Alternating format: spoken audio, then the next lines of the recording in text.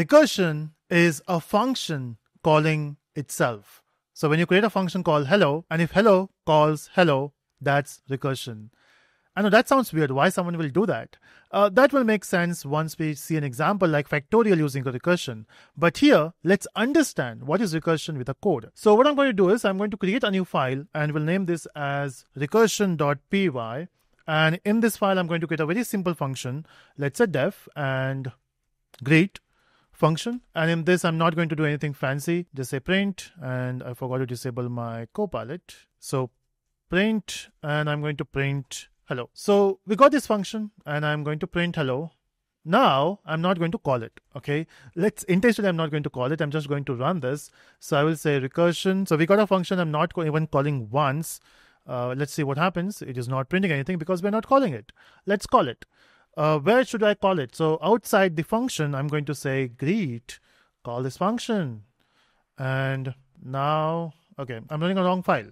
So it is python recursion.py enter and now you can see we got hello i don't know what file i've run before but anyway you could have got the same exact same output so now you can see it is printing hello that's cool but what if after this printing i'm going to call greet once more. So i'm going to clear this and i think I, I was running fact before but let's run recursion and let's see what happens. So what i'm doing is i'm calling this function greet again and the moment you do that okay so we got errors but ignore the errors. Let's go up.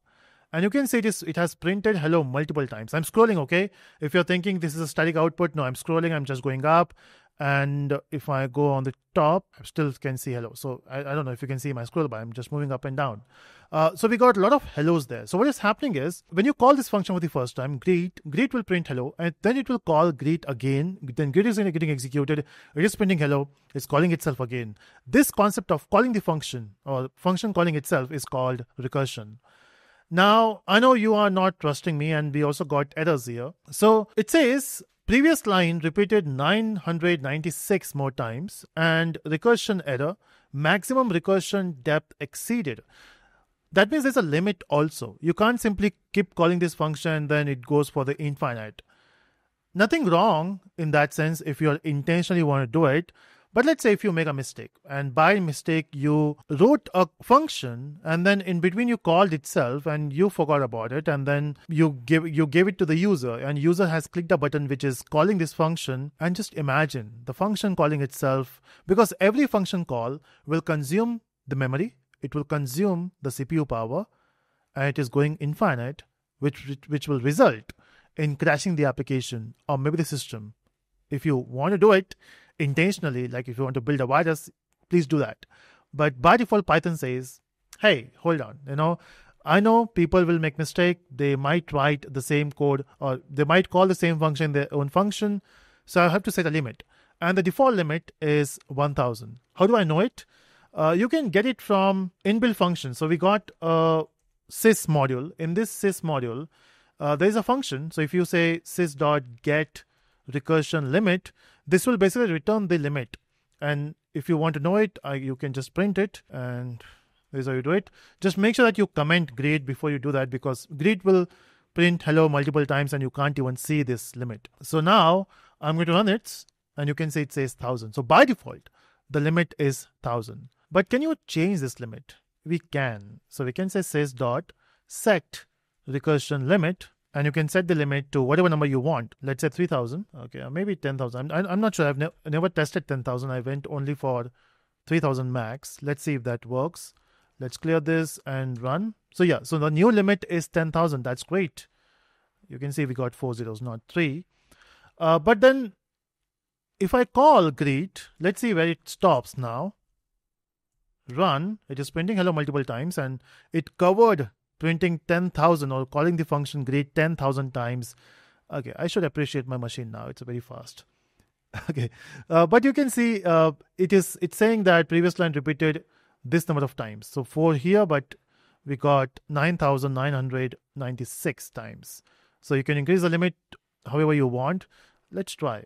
Since we are trying, I just want to see the limit of the system. Okay, it's taking some time now. Okay, so one lakh is a big number. It's taking some time, but it has done it. Okay. But the point is, you can run this. You can call the function by itself, and that is called recursion. But let's say if you want to see this in a slow motion, can we do that? Uh, we can. So to do that in the slow motion, what you can do is you can use a sleep method. So after printing hello, you can say sleep, and let's say I want to sleep it for 20 milliseconds. So I can say 0.02 millis, 0.02 seconds, which is 20 milliseconds if, if my maths is not wrong. And since uh, if you want to use sleep, you have to use it from the time module. So from time import sleep. Okay. And now let's see if that works. Run. And you can see it is printing hello slowly. Not that slowly, which we expected, but it is doing it. I'll stop it because it's one like time. I don't want to waste your time watching it. I want to do one more thing. Every time I print hello, I want to print the count, which, I mean, what's the current count of the hello? Okay? Uh, you can do that by creating a variable outside. So you can say count is equal to 1 and if you want to use that variable inside of course you can say count but let's see. I think it will say hello hello hello. Hello 1 hello 2 yeah hello 1 it will print hello 1 why i say 2 I just have to also increment it. But since you are changing it, it will not change it. We have talked about global and local variable. Uh, it will create, I think it will create issue. Run no, it's not able to access that because you are also declaring it here and you want to use a global variable. So we have not seen one keyword which is global. We have talked about globals which will give you the access of the global variables. But if you want to specify that this count is not a local variable, it's a global variable, just redeclare that with the help of global count. Now it will treat this count as a global variable. It will not create a new local variable. Let's see, run, and you can see it is printing hello with the count. And that's, my friend, is recursion. So what is recursion in short? A function calling itself. And I know you're waiting to complete that one lakh and I will not give you that happiness. Once I stop the video, I will wait it to complete one lakh. Bye-bye.